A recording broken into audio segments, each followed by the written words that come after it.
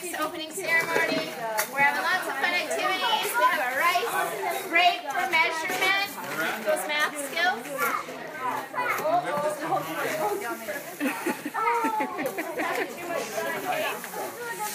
Yeah, so come on over. We have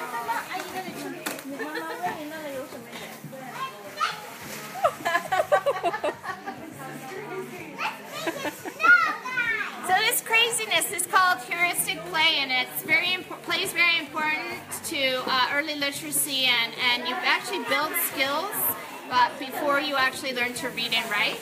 So activities like this, which seem really uh, messy, actually help kids to, to learn eventually how to read and write. Who would have thought? A lot of fun. Um, just those everyday materials. Play you can do with anything. And here we've done it with shredded paper. And look how much fun the kids are having. So come on